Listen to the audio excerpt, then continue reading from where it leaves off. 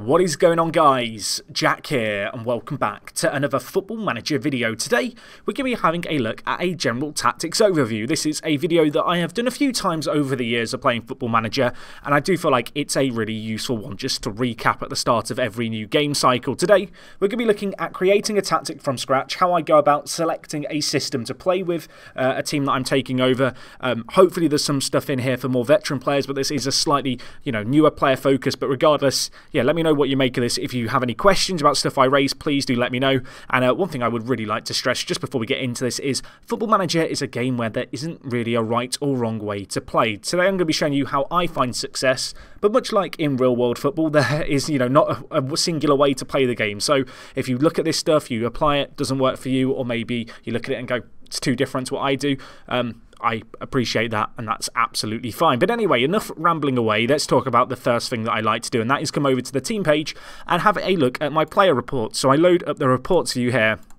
And I will just start by sorting by current ability. And really, what I'm looking for here is the pillars to build a team around. You know, looking at the pieces that we have. This squad is a big jigsaw puzzle. For this example, we're using Dortmund, which is obviously a team that many of you will be familiar with, myself included. Um, I will say now, I'm not going into this having worked out how I'm going to play. That is kind of the point in this video to do it on the fly.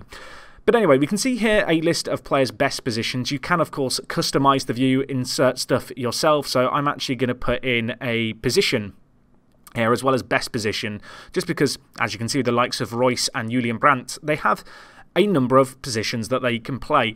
Um, the big kind of standout thing here is that we have Hummels, who is a very good ball playing defender. We've got two very talented, you know, attacking midfielders in Julian Brandt and also Marco Reus. And behind them, we've also got players like Alcacer and Goetze, who we really want to make use of, and Witsel. So immediately we've got a, we've got Goetze as an advanced playmaker potentially. We've got Witsel as a centre mid, and we've got two wide players and a singular striker. So immediately in my head, I've got a rough idea for some formations that would work here, and I guess the obvious one is going to be a 4 2 3 1. So what I like to do to begin with is obviously click on create our own style here. I will say now there is absolutely no harm in doing a style yourself. If you want to do that um, and pick an existing one and modify it, I it's fine. I feel like, uh, for the sake of working out how I want to play, however, I like to just you know, start with a clean slate, as it literally says here. So anyway, the first thing we're going to do uh, is have a look at our team report. So if we come to this tab here, you can see we have our team report in terms of the history. Um, once you've played a few games, information will be shown here um, in terms of your performance. Usually there's some useful stuff that will hint at where your tactic might be failing, so keep an eye on that. Of course, today we're just focusing on picking a tactic to begin with. So you can see here, because we set up a 4-2-3-1, the formation on the squad depth page shows a 4-2-3-1 but if we do a go over here and click all positions, we can start to get a nice little overview of our team. Um, so looking at it, Dortmund have a very, very deep squad. Looks like we've got some pretty good fullback options. Between uh, Akanji and Hummels, we've got two good centre-backs, but we're perhaps lacking a little bit of quality behind them. So immediately I'm thinking probably a two centre-back formation. We've got uh, Piszczek out on the right-back position, as well as Hakimi who can play out there. And on the left, we've got Schulz and uh, Guerreiro. So yeah, now that I think about it, 4-2-3-1 is almost certainly the way I want to play. So this can be really useful just to get a rough overview of things. I do feel like this screen in particular is criminally underrated if you're someone getting into Football Manager for the first time. Um, you can really utilise this. Obviously, um, star ratings aren't gospel. They are a kind of basically the opinion of various staff members. And of course, it is judging player ability and potential that is going to play into that. So if you're in a smaller club with a not so good assistant manager, do bear in mind star ratings not always accurate. I really recommend using your own judgment. Again, this is an example of where perhaps being familiar with the squad that you're taking over is a nice thing. Anyway, you can see here we obviously have stats and facts, which is all, you know, useful stuff as things go on. But actually, the really good thing that I like to look at um, if we just come to the assistant report, is the team's strengths and weaknesses, because we can get a rough idea of how we might want to play. So you can see here we've got really good off the ball movement and good flair, acceleration, and stamina. Uh, our dribbling and passing is very good, so perhaps a passing style of play is something to look into. The vision in the squad is good, and technically we're good. So immediately I'm thinking we've got to play on the front foot. We're probably going to be better with the ball at our feet. Um, although we have crossing as a strength here in our team, it's worth noting that heading is one of our big areas of weakness. We have quite a lot of smaller players. So for that reason, I'm thinking, you know, playing technical, keeping the ball on the floor is the way to go. You can see in terms of goalkeeping, we might be lacking a little bit of the throwing. Now, we have Hummels, who we know is probably going to be a ball playing defender. So maybe we would want to look at the goalkeeper. We can have a look at that in the second. Uh, of course, if a goalkeeper's playing it short out to the defenders and isn't playing as kind of a sweeper keeper, he's actively involved in build up play, um, I'm not too concerned about the likes of his kicking and throwing and his overall distribution. You can see here our aggression isn't particularly good, nor is our bravery. So going into crunching tackles really isn't going to be something for us. And of course, there is some other information here that you could use to help you, you know, decide what signings you might want to make. So anyway, we've got a rough idea in our head of how we want to play here. So let's take a stab at things, shall we? So the first thing I'm going to do is look at Reus, who is our star player. Now you can see here he is natural in a variety of positions. He's a, right-footed player who looks like he's pretty well suited to play out on the left. So to start with, we're going to put him into our left midfielder position.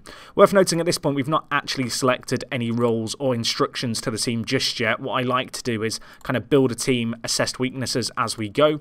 Next, we've got Hummels, who, as you can see here, is a right-footed centre-back. I am one of those people who likes to have a right-footed centre-back at defensive right mid. Oh, sorry, centre defensive right, you know, the right centre-back essentially. Um, I know that some people, they're not bothered about what footedness their defenders are. If I can have a left-footed player on the left and a right-footed player on the right. It's just kind of how I like to do things.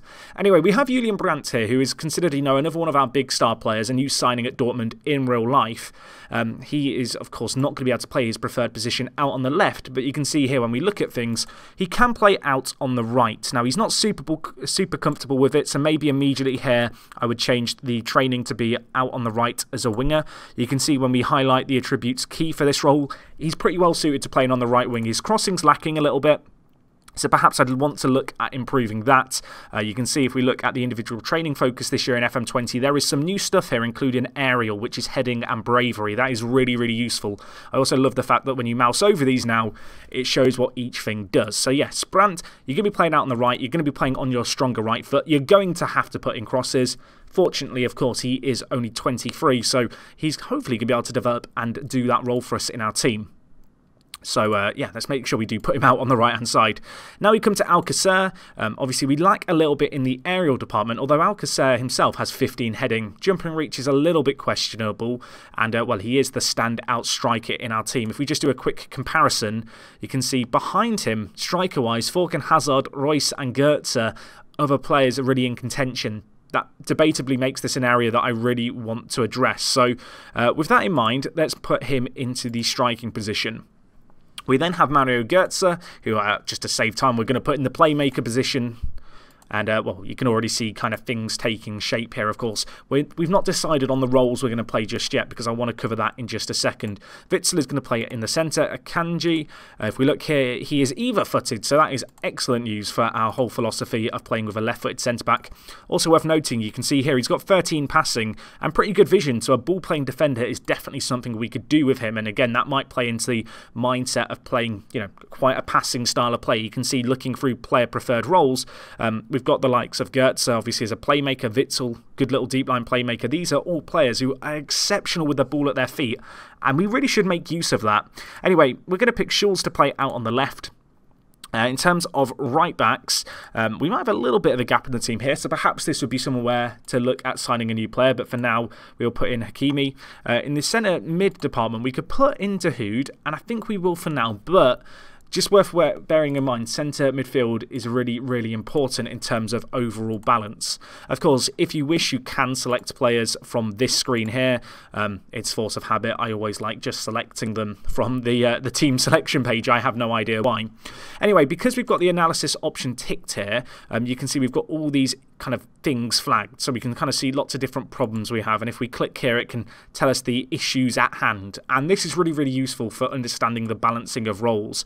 Um, so what we're going to do here now is think about the roles that we want to put our key players in. We talked about Reus. Um, we could potentially play him as an inside forward. Of course, he is right footed, so it makes sense, in my opinion, to put him in a role that cuts in onto his stronger foot. Of course, the inside forward is a role or the inverted winger. In terms of these two roles, imagine the inverted winger more like a Mahrez kind of player, whereas your inside forward is going to play off the front man, off the striker, um, and really you know get up the pitch. I'm thinking with how we're approaching things here, inside forward is probably the way to go. Um, I do want to stress actually at this point a prime prime example of why star ratings aren't important. Well, they're important, but don't let them be the be all or end all, is because Jadon Sancho is not in our team as things stand. Now, he is a right footed player who is probably competing with Brandt in the right hand side of midfield. So if we do a comparison of the two players here, we can um, actually look at directly how their attributes fare for playing out on the right hand side as a winger, which I think is the role we're going to go with here. So if we highlight it, we can see a direct comparison head to head. They both excel in slightly different ways. Um, in terms of which I'm going to go with here, um, I think I might go with Sancho just because he's got that slightly better crossing. And, uh, well, despite his overall passing not being so good, he has got that really good kind of physical pace that is slightly edging out Brandt. So perhaps with a degree of English bias in there, I'm actually going to change the team here. And again, you will find that as you fit players into your team, into your system, you need to reflect on things. You know, we looked originally, Brandt ideal to play out on the left. We decided actually because we've got Reus there, he's got to move on to the right. And in doing so, actually, we have another right midfield option who, whilst doesn't necessarily have as good a star ratings, is a player who I think can do the role in our system that little bit better. Anyway, let's think about our, more of our roles here. I like to build from the front backwards, and the reason I do that is because there's way more role options higher up the pitch, and I feel like this really determines how you play. So we can look at Alcacer here. Um, his kind of, I guess, ability at different roles, you can see here is quite varied. He could play as a poacher. I feel like because he's spearheading the attack, we want to keep him on the advanced forward role. It's worth noting that with the role suitability that you see here, this is based off a player's um, regularity playing a position as well as, to a degree, how well their attributes suit that role. So, for example, for Alcacer here, we could put his training on advanced forward, and over a period of time, he would get more and more comfortable at it to a point where he, you know, can play it as naturally as he can play poacher. Um, it's really important when you pick player roles to kind of look at the overall system. For example, with our centre mids here, I could look at Witsel and Dahoud and be really determined just to fill it in the circles yellow everywhere. But in reality, does it make sense to have two advanced playmakers next to each other? Probably not. And additionally, you've really got to think about pairings. I feel like the centre midfield partnership in terms of roles is the most important thing. You want to have two roles or three roles if you play three centre mids that really work together. And that comes with a little bit of time, a little bit of experimentation, finding out what works within your actual system. For us here, I'm going to go with, I think, Witsel as the defensive option. Dahoud is quite a creative player as well as Witsel. I don't really want to play them both as playmakers with Goetze higher up the pitch. For Dahoud, if we look at him, He's a good player, but he's not particularly great in anything other than as a pure out and out playmaker. He's got good work rate and stamina, which might lead him to be a good box to box midfielder down the line, being only 23. But for me personally, he's just lacking in a few little areas. You know, I want him to be a bit more of an enforcer. I want him to be in the core of our side alongside Witsel. So for that reason, I might look to drop him out, and then we can look at various other options. We've got Weigl could be an option um, that we look at. So if we look at him here, He's a pretty good centre mid option, a little bit more defensive. Uh, worth noting that you could pick, uh, decide the role before picking a player. So I might go, uh, I don't know, I want a centre mid on defend alongside Witsel, who actually I've decided deep line playmaker on support is the way to go. Um, I feel like advanced playmakers and deep line playmakers can work together. I feel like having two of the same kind of defeats the point. You know, these two players are going to be involved in different phases of the play, so it's okay in my opinion. Again, some people will happily play two of the same playmaker role in a team team. Um, it's just how you want to approach the game, isn't it? But now that we've set it to centre mid defend and we've kind of got roles that we look at, if we were now to click on the Weigl drop down, you could see it would list the players in our team sorted by their role suitability who can play this position. And suddenly, maybe Thomas Delaney comes into the picture. You can see here he has crazy mentals, great stamina, and actually he's quite good in the air and quite good in the tackle. So I might decide he's a little bit better. I might decide I want to try a ball winning midfielder instead. You can see here we then get a major issue noted, and I think the issue with this is going to be because we're not playing with a defensive midfielder, um, you know, sat in the defensive midfielder position, and because these guys are both on support, they will get up the pitch together, and this is where it becomes a big balancing act. Now, in previous FMs before FM 19, this would be a little bit of a guessing game. You can use these analysis prompts just to give you, you know, a better idea of what you can and can't do. Um, generally, if there's like an amber warning behind Witsel here, I become a little bit less worried because I know that alongside him, there is a good defensive midfielding option here. Anyway, at the back, obviously, your role choice is a little bit more limited. I feel like when it comes to defender roles, pick roles that suit the system that you want to play. Because we know that we're going to be doing a passing style of play, um, we're going to stick with the two ball playing defenders. That makes absolute sense to me. You know, as we discussed, we want to play um, out from the back, you know, pass it short with our keeper and build the play up the field. Um, wingbacks, again, they are something that you need to think about with the roles. Um, I tend not to put my fullbacks on attacking duties unless I'm going to have a defensive midfielder as a rule of thumb, or if I'm playing free at the back. But with Schulz and Hakimi here, looking at the roles we have ahead, especially in Schulz's case, I probably do want him to get higher up the pitch. You can see here he's a player who does have the ability going forward. He's got great crossing and really good physicals and really good work rate. So I'm not as concerned about him getting out of position. So for that reason, I might decide to play him on fullback attack. Hakimi, on the other hand, a little bit more defensive, not quite as good in the crossing you can see here, he's not the craziest in terms of defensive options.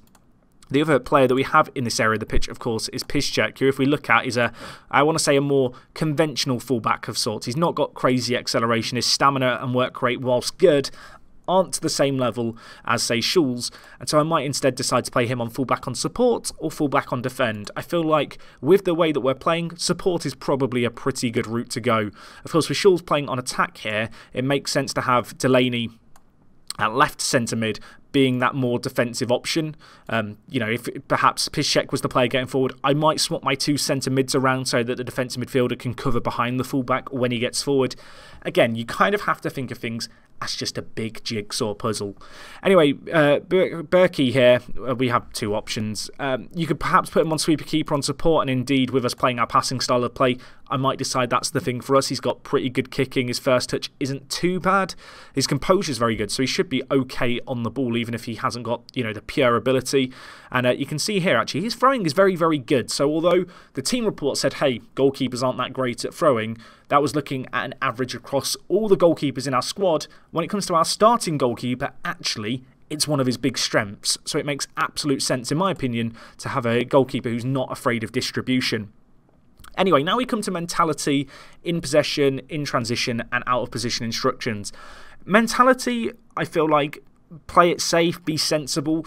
I feel like I would never start very attacking, and unless I'm massive, massive underdogs, I'd never start start very defensive. For me, those are two extremes on a kind of scale which you're going to use during matches, either to desperately chase a goal or perhaps to play on the you know a more patient style of play.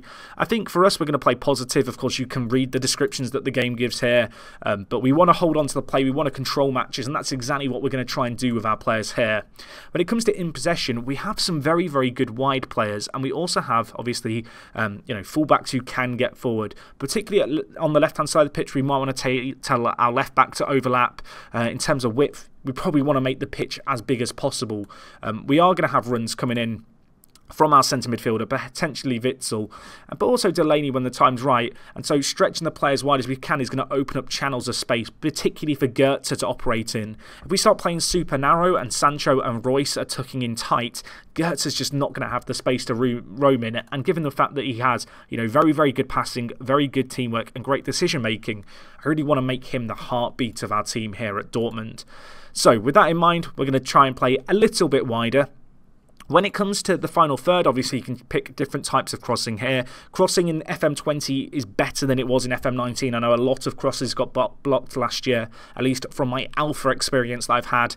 Um, you know, the crossing uh, is better. I think with us, we know that Alcacer's jumping isn't the greatest. Yes, he's good at heading, but he's the only player in the box. Low crosses is probably the way to go. We know that jumping is a weakness in our side. Uh, in terms of crossing, Probably not worth doing, especially with playing a single striker. He's going to be the only player in the box to aim for, but we might want to look to work the ball into the box. You know, with the style of play we're playing, there's going to be players running from deep. You know, we're going to have um, Reus getting into the box. Sancho will get forward. Goetze will get into the box as well.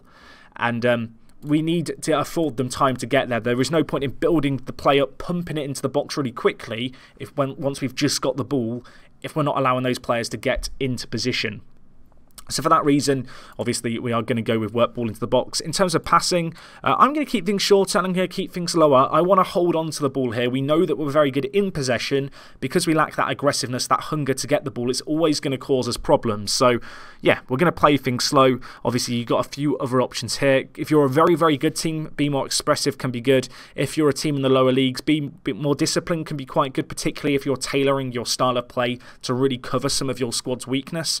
You know, if you're a team who, uh, I don't know, you, you have um, two very good defensive midfielders and you want them to work together and be the rock in your team, maybe telling them to be more disciplined so they don't get up the pitch might be a good little option. Obviously, this hasn't changed a great deal since the last tactical overhaul, which was in FM19. Anyway, in terms of in transition, it's very similar to before. Uh, worth noting, actually, if you have either play the ball out of defence, which I should have ticked, or indeed distribute to centre backs, that will cause on goal kicks this year. Your goal, uh, your defenders to come into the box. Of course, the laws of football in terms of goal kicks have changed now, where defenders can start in the box on goal kicks. Those two instructions uh, are ways that you can achieve that in game. In terms of how we're going to approach things here. Although we don't have the most aggressive of squads, I would quite like to counter press. You know, I want to hold on to the ball and I really want to suffocate the opposition team. So when we're pushing high up the pitch, um, it's in our interest to press and you know limit that space that we give them. I want if we're going to give it the ball, I want to be giving it up in their half and I want to be winning it back quickly. I want to press them, I want to put them under pressure. We have some players with very good work rate, very good pace and acceleration. They are going to close that gap. And even if they're not the most aggressive in terms of uh, putting in a tackle per se, if a team's pressing, you can do it two ways. You can press individuals to win the ball by tackling, or you can press the passing lanes to limit the passing options and force the opposition to go long. You know, if they're hoofing the ball at the pitch to their striker, they're going to struggle. And if you can suffocate their, you know, passing options when they do win the ball in their own half, it's obviously very, very good. You've still got when ha you have possession one, you can either counter or hold shape. Uh, obviously, hold shape might be good in a game where you're more reserved. You don't want to overcommit men forward. It can be quite easy for players to get a little bit carried away when the ball's won and go bombing up the pitch, particularly your fullbacks on either side. If they are on attacking duty, hold shape can be kind of useful just to make sure they don't get caught out of position if you quickly lose the ball. Uh, for goalkeeper, obviously, a few options there that you might want to make use of.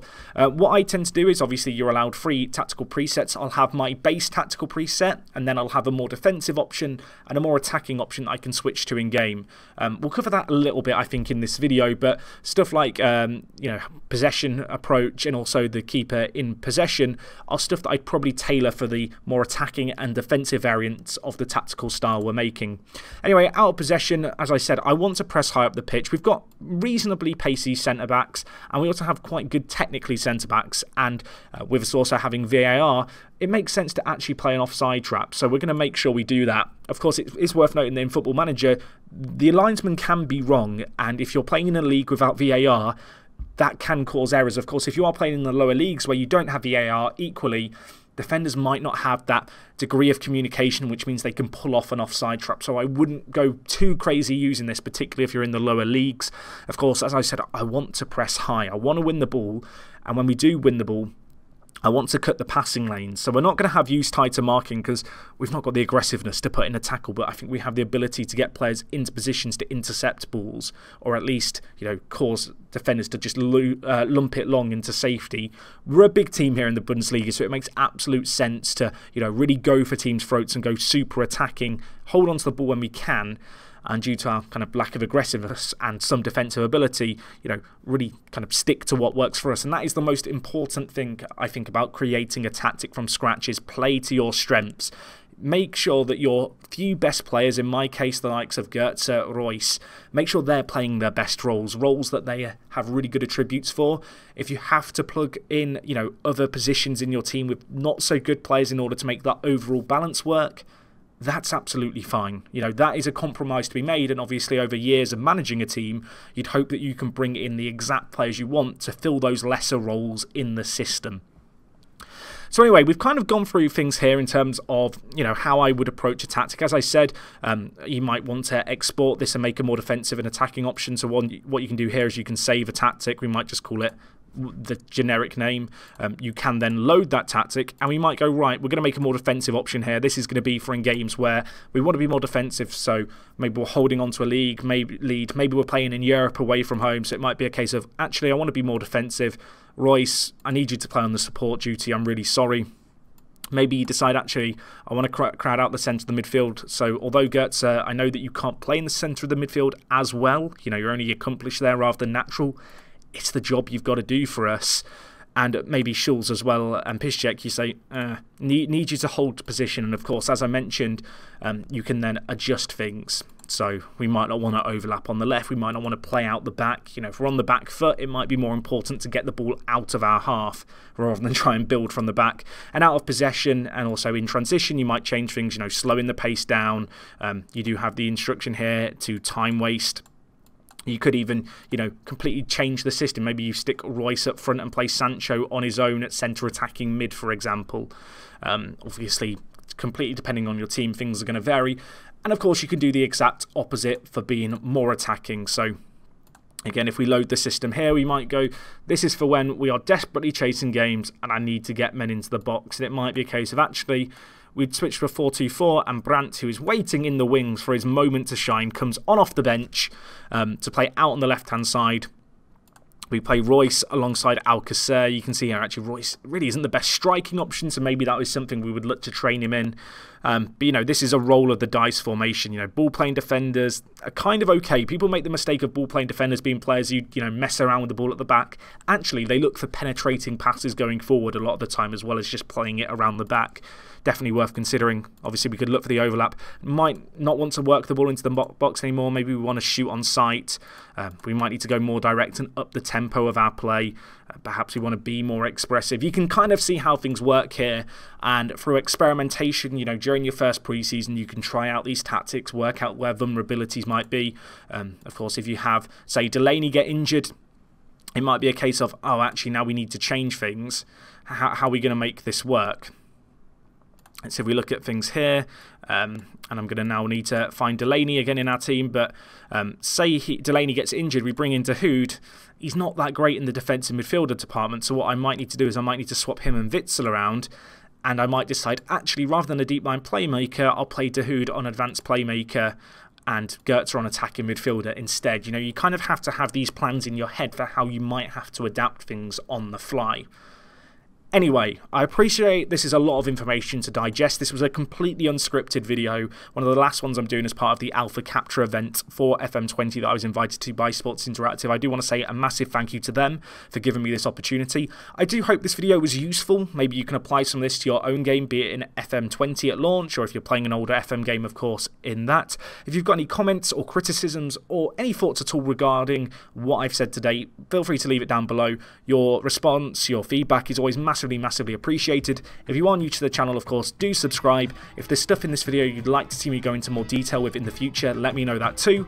And that is all from me today, guys. Thank you so much for watching. It is me, Jack, and I'll talk to you guys in a bit.